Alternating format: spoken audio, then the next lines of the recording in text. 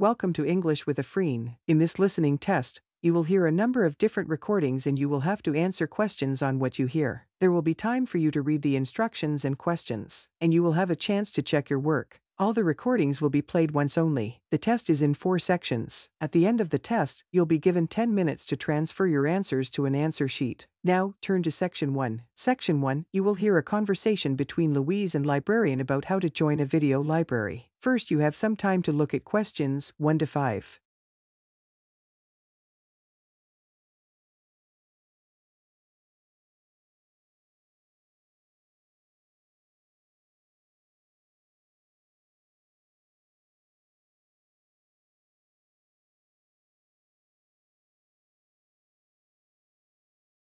Now, listen carefully and answer questions 1 to 5. Oh, hello, I'd like to join the video library. Okay, would you like to fill in the application form now? Yes, I can do it now. Hold on and I'll get a form. Now, I'll just ask you a few questions and then I'll get you to sign at the bottom. Right, What's your full name? Louise Cynthia Jones. Jones. Yes, that's right. Okay, and what's your address? Apartment 1, 72 Black Street, Highbridge. Black Street. That's just around the corner, isn't it? Yes, Okay, so the postcode is 2085, right? yes, 2085. Okay, and your telephone number. I need both home and work. Home is 983567112 and work is 945611309. Do you need any ID or anything like that? Yes, we need your driver's license number. That is if you have one. Yes, one know if off by heart. It's an easy one, 2020BD. Do you need to see it? Yes, I'm afraid I do. Here it is. Right, thanks. And could you tell me your date of birth, please? The 25th of July 1977. Before you hear the rest of the conversation, you have some time to look at questions 6 to 10.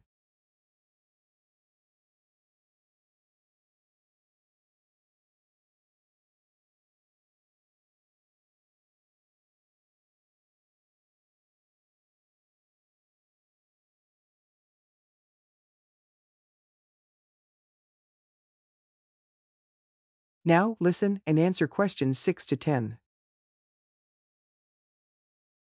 Okay, now that's the most important part out of the way. But can I just ask you a few questions for a survey we're conducting? Okay, What kind of videos do you prefer to watch? Have a look at this list. well, I love anything that makes me laugh. I just love to hear jokes and funny punchlines. I'm not very keen on westerns, although my father likes them, but I'm a real softie, so anything with a bit of a love story is good for me. It doesn't matter how old. Not musicals though, they're too much. Anything else? I'm completely taken by documentaries of the great outdoors, you know the sort, animals, plants, and faraway places. One saw a wonderful one on dolphins last week. It was amazing. Now, I think that's all from me, except I need you to sign here on the line. Here's a pen. Oh, and I nearly forgot the membership fee. $25 refundable if you leave the library for any reason. There you are. And do I sign here? Yes, that's it. You can borrow videos now if you like, but your card won't be ready until next week. You can come and pick it up when you bring your first videos back. That is if you want to take some now. Yes, I'd like to. I'll have a look around. Fine. That is the end of section 1. You now have half a minute to check your answers.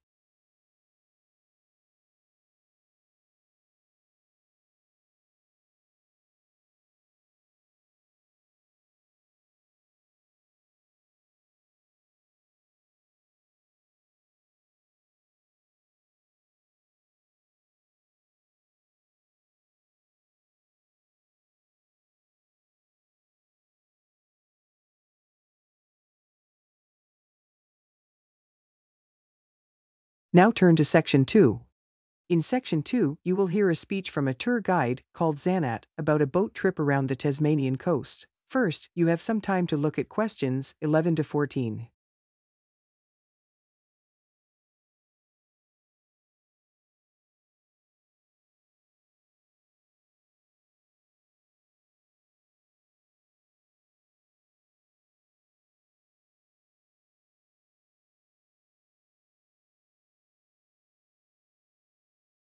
Now listen carefully and answer questions 11 to 14. So, hello everyone. My name's Zanat, and I'm going to be your tour guide today as we take this fantastic boat trip around the Tasmanian coast. Before we set off, I just want to tell you a few things about our journey. Our boats aren't huge, as you can see. We already have three staff members on board. And on top of that, we can transport a further 15 people, that's you, around the coastline. But please note if there are more than nine people on either side of the boat. We'll move some of you over, otherwise, all 18 of us will end up in the sea. We've recently upgraded all our boats. They used to be jet black, but our new ones now have these comfortable dark red seats and a light green exterior in order to stand out from others and help promote our company. This gives our boats a rather unique appearance, don't you think? We offer you a free lunchbox during the trip, and we have three types. Lunchbox 1 contains ham and tomato sandwiches. Lunchbox 2 contains a cheddar cheese roll and Lunchbox 3 is salad based and also contains eggs and tuna. All three lunchboxes also have a packet of crisps and chocolate bars inside. Please let staff know which lunchbox you prefer. I'm sure I don't have to ask you not to throw anything into the sea. We don't have any bins to put litter in, but Jess, myself, or Ray, our other guide, will collect it from you after lunch and put it all in a large plastic sack. Before you hear the rest of the talk, you have some time to look at questions 15 to 20.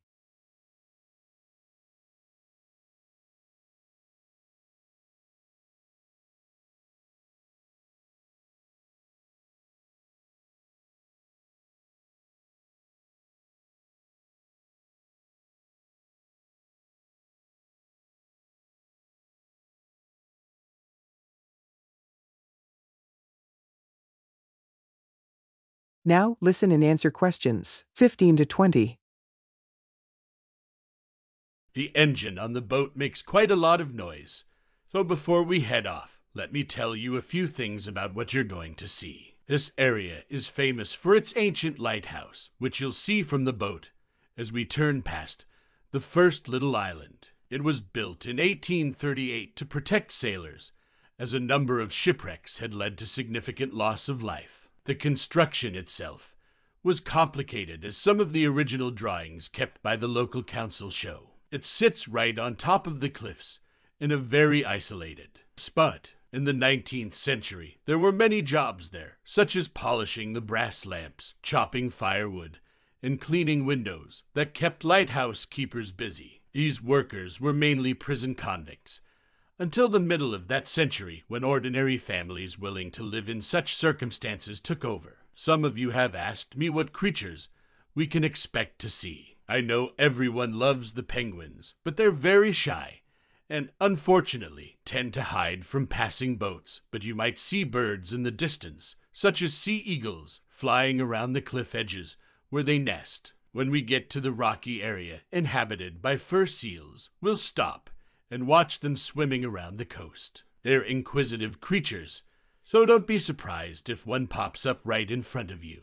They're predators. Orca whales hunt along the coastline too, but spotting one of these is rare. Dolphins, on the other hand, can sometimes approach on their own, or in groups as they ride the waves beside us. Lastly, I want to mention the caves. Tasmania is famous for its caves, and the ones we'll pass by are so amazing that people are lost for words when they see them. They can only be approached by sea. But if you feel that you want to see more than we're able to show you, then you can take a kayak into the area on another day, and one of our staff will give you more information on that. What we'll do is go through a narrow channel, past some incredible rock formations, and from there we'll be able to see the openings to the caves, and at that point we'll talk to you about what lies beyond. That is the end of section 2. You now have half a minute to check your answers.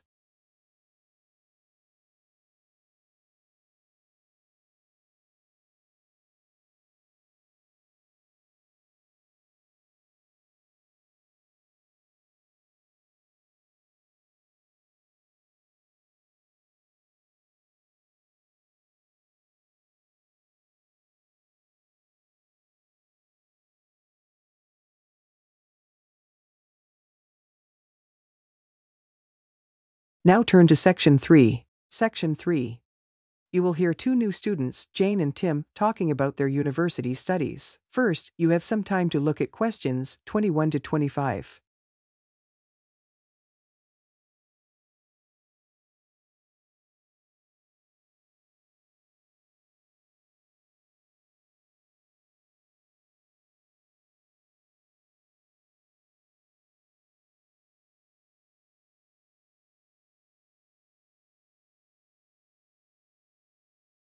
Now listen carefully and answer questions 21 to 25.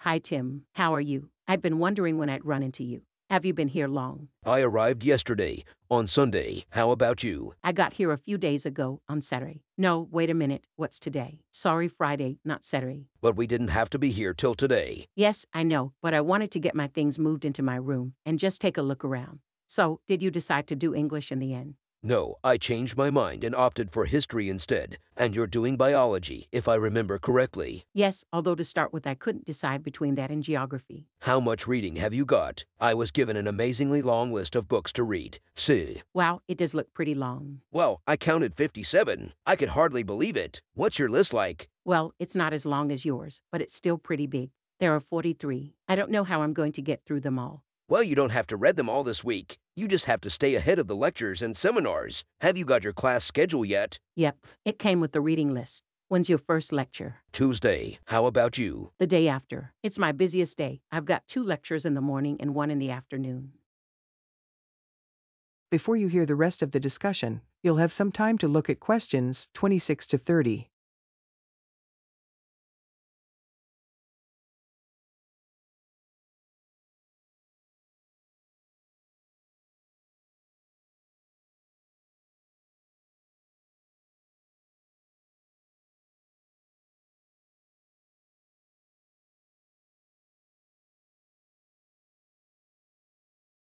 Now, listen and answer questions 26 to 30. It's going to be different from school, isn't it? Yeah, particularly the lectures. Have you got any special strategy for listening to lectures? Well, I'm going to use a cassette recorder and record them all. What? Are you allowed to? Sure, lots of people do it nowadays. It means you can listen to the lectures all over again later and make really good notes. I couldn't do that. I like to take notes as I'm listening. I usually find I get all the important points. Reading is different, of course. My approach is to skim the book first to see what's important and what isn't. It saves hours of time. But what if you miss something? You don't mean you're going to read every word, do you? Well, that's what I usually do. Well, that's up to you, but I think you're crazy. What's your first lecture on, anyway? Oh, it's a lecture on the French Revolution. The French Revolution. How boring. It's not boring at all. It was an amazing period of history. It changed everything in Europe. So what's your first lecture about? It's about animal behavior. It sounds really interesting. Look, I was on my way to the library. I'm going to get some of these books out and start reading for the first essay I've got to write. And what have you got to write about?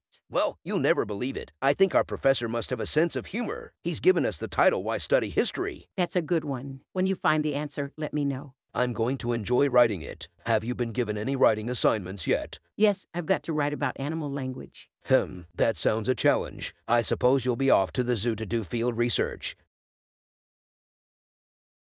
That is the end of section 3. You now have half a minute to check your answers.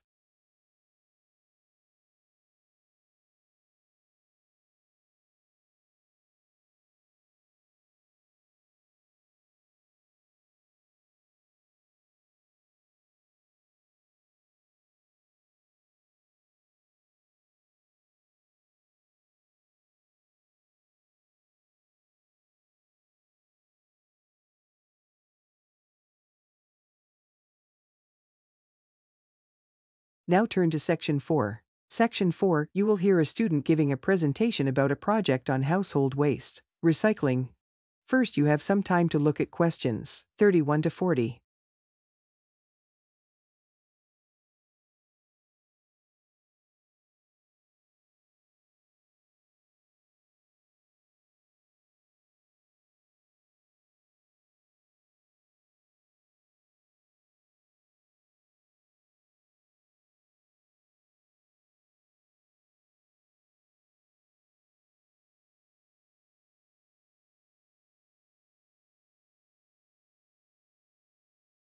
Now listen carefully and answer questions 31 to 40. Well, my group has been doing a project on how household waste is recycled in Britain. We were quite shocked to discover that only 9% of people here in the UK make an effort to recycle their household waste. This is a lower figure than in most other European countries and needs to increase dramatically in the next few years. If the government is going to meet its recycling target, the agreed targets for the UK mean by 2025 we must reduce our carbon dioxide emissions by 12.5% compared with 2015, and recycling can help to achieve that goal.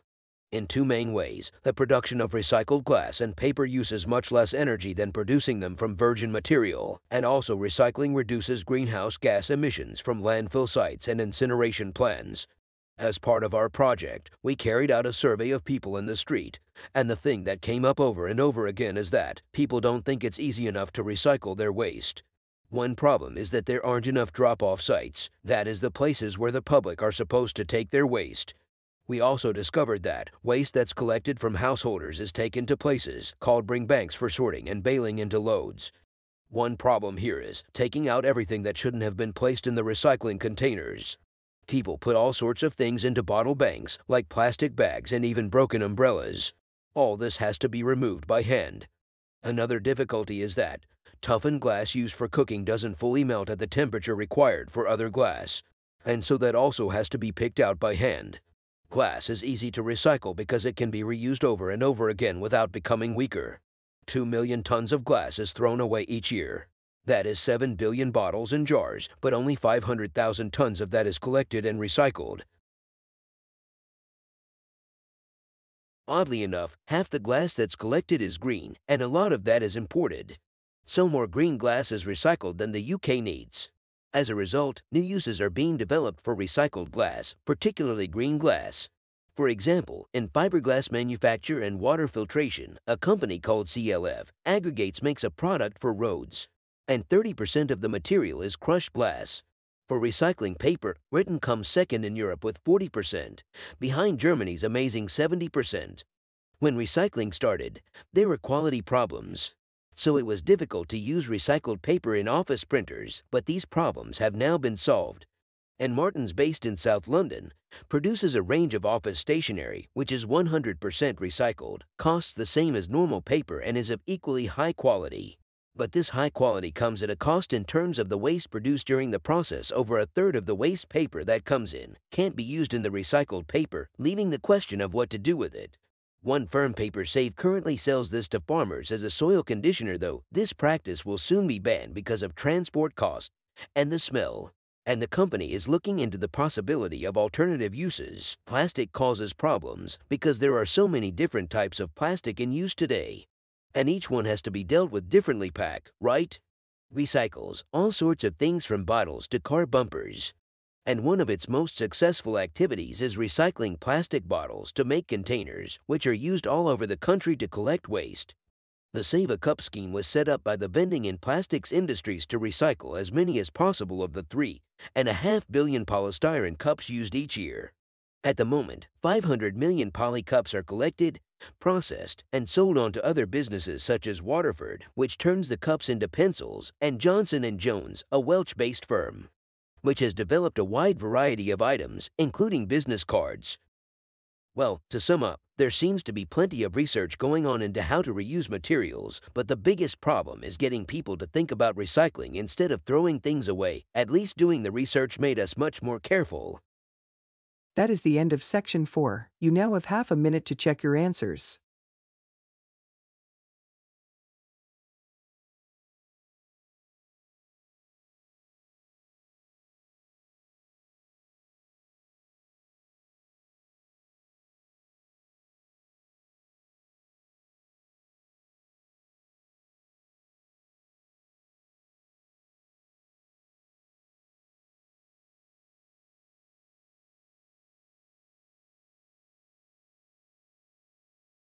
That is the end of the listening test.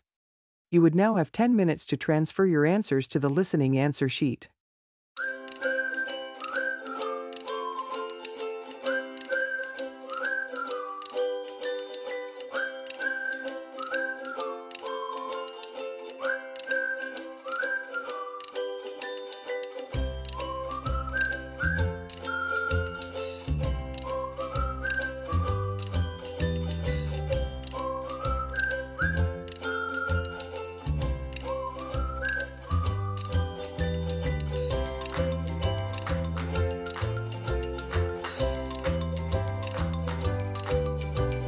If you score 1 to 18, you are unlikely to get an acceptable score under examination conditions, and we recommend that you spend a lot of time improving your English before you take IELTS.